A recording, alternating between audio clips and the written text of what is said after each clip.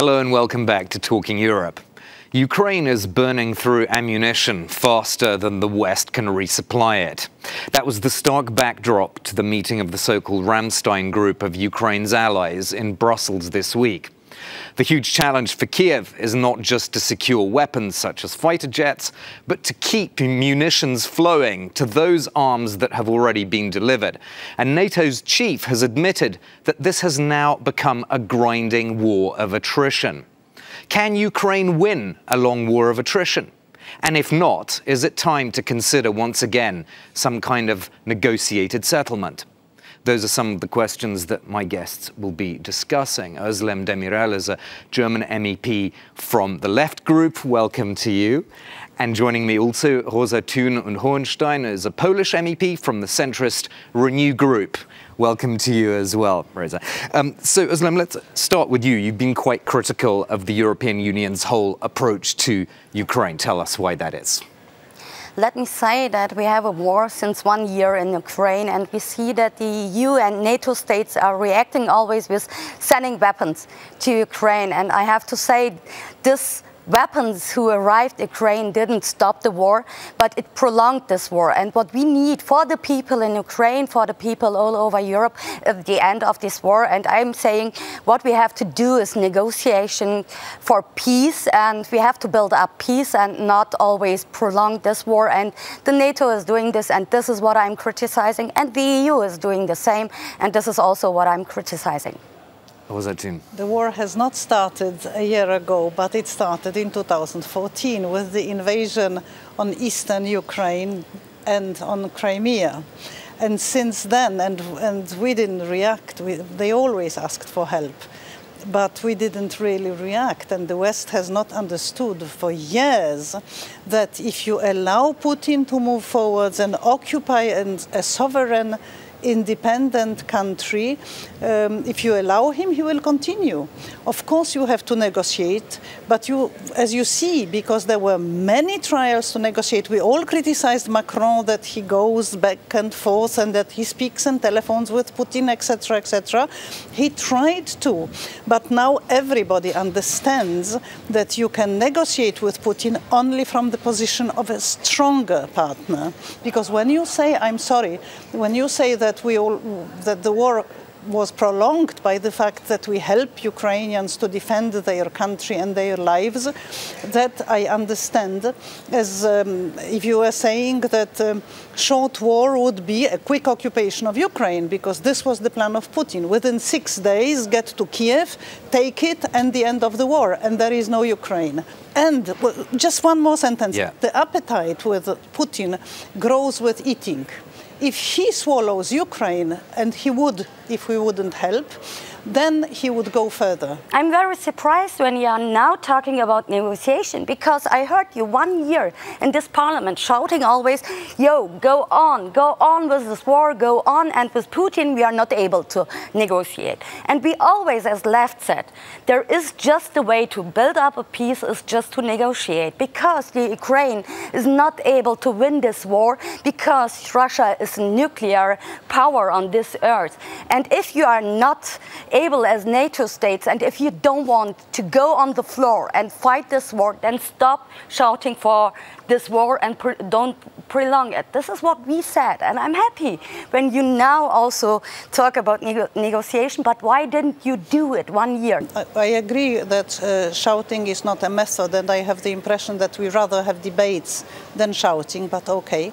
Um, but on the other hand, when you talk about the Ukraine uh, and their ambitions to become an EU member, um, this is a sovereign country.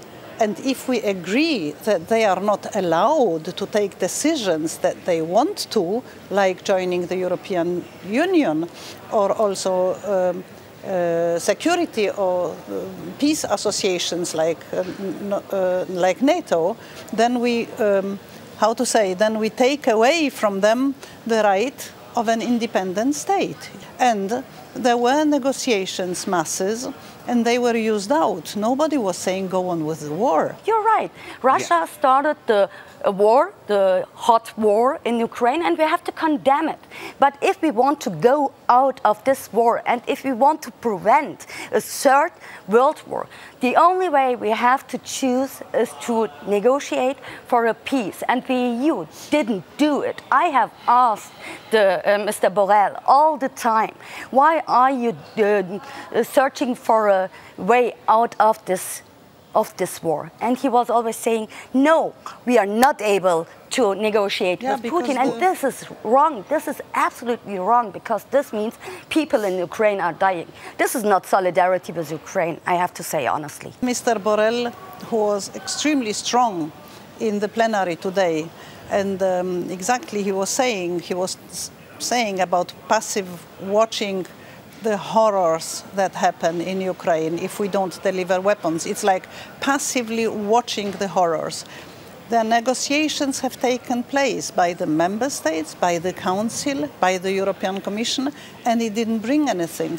Now we are in the state of war, and constantly European Union, NATO, everybody is open to negotiation. So what many people do not understand as well as Ukrainians, uh, Russians who are in the opposition, uh, fighters for, for human rights in Russia, there are many, we must realize this, neighboring countries who have lived under the Russian or Soviet occupation at the time, like myself personally, we know this mentality, we know these practices, and we know that the negotiations must be, but from the position of the stronger. If you show your weakness, you will be attacked tomorrow by Putin, unfortunately. Are you saying that, so in the interests of peace, Ukraine should not have the right, for example, to join NATO or the EU, to come back to Rosa Thun's point? Is that the price that should be paid for peace, that that part of being an independent state should be taken away for Ukraine, if that means stopping the war? We had to stop this war, no matter what it means, and it's a little yeah, bit on naive. What on what basis? It's a little on bit what basis? naive when we are saying always the NATO is fighting for the sovereignty of peoples. This is not the truth. The NATO has also in the past started a lot of wars in the in this world. So we have to be honest what we are talking about. I'm not uh, supporting the military uh, alliance of the NATO. We have to criticize this, and if we want to build up peace peace. What we need is to debate about not more and more weapons in this world, but having less weapons in this world. But on what basis would you see peace negotiations then?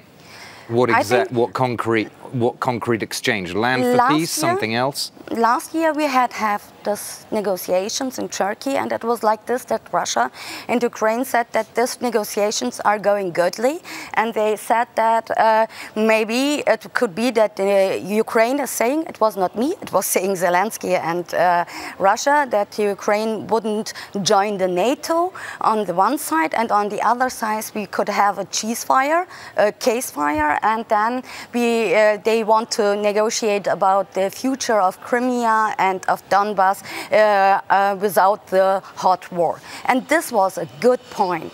And why did we stop this point? And it was like this that Great Britain and US stopped these negotiations for their own interests. And this is what I'm criticizing. Mm. We should go on. At that point, we ended on uh, last year, and this could be a good. Just final points. Is that realistic, though, now to go back to that particular point that your I colleague mean, is talking uh, about? Now it's all um, broken or torn apart. Even if there were negotiations about joining NATO or not, um, European Union is not a military pact and um, they want to join the Europe European Union. That's what is being uh, planned now. But even with those talks, Putin didn't stop the aggression. So that means that those talks and those um, re what you call um, uh, giving up the membership in NATO or putting it on the table of negotiation. Look, you're right when you're saying that the European Putin. Union is not a military union. Yes. But what the EU did since one year is to stop to be a diplomatic union and started to rebuild a military union. And this is really dangerous. You have also But used, misused So this just- war just let her to respond to rebuild the point. weaponization and the militarization of the EU. This is was the wrong, response. Totally wrong. Unfortunately, I must again disagree here.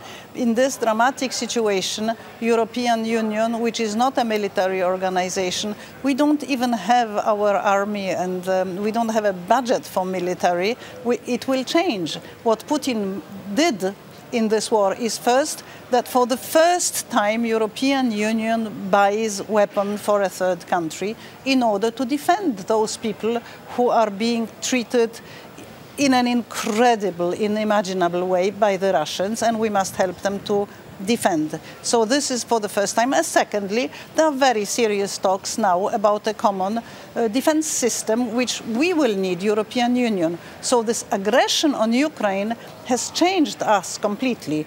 Before, we, our way of talking or seeing the geopolitical situation was different. Now, Putin, through his aggression, has changed everything.